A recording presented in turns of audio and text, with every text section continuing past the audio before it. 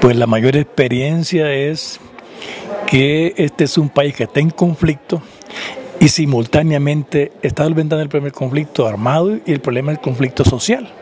¿verdad?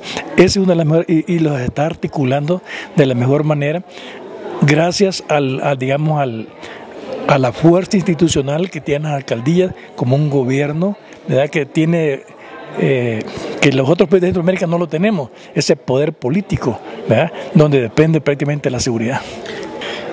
Pues este, realmente lo que, lo que hemos logrado, en, mi caso, lo que me llevo de esto es el concepto de la, esa seguridad de, de prevención de cultura democrática, que va más allá de la, del desarrollo humano, porque nosotros a puras penas hacemos la seguridad pública y no la estamos haciendo bien, pero tenemos encima los grandes problemas.